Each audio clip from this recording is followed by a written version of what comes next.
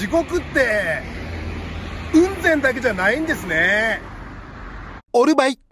別府って関サバ関味が有名らしいですよ。へえ。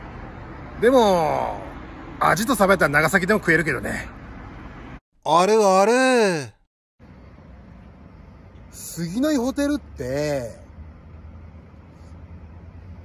横団地ぐらいあるよね。オルバイ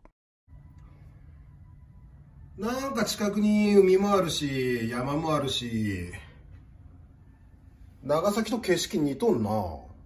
おるよね。別府って旅好きに出てくるイメージやな。オルバイおい。おい。お前何にでもカボスかけるなお前。おるよね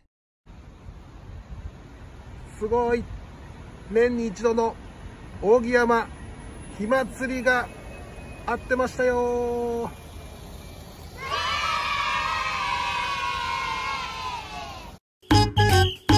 チャンネル登録お願いします。